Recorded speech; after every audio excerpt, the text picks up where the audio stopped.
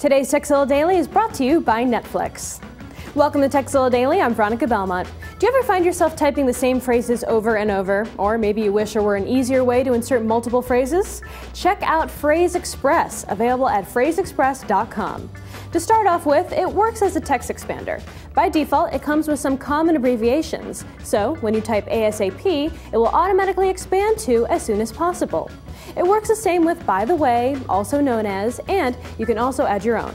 It also stores your clipboard history, so with the press of a hotkey, it will pull up a list of the text you've most recently copied to the clipboard. It can also insert the current date or time, insert random signatures and quotes, and much more.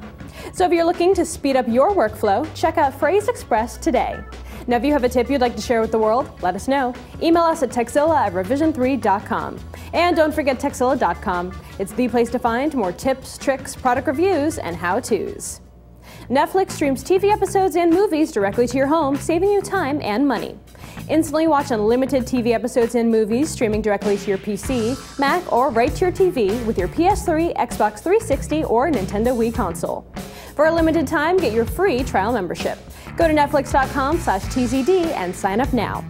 Be sure to use this URL so they know we sent you.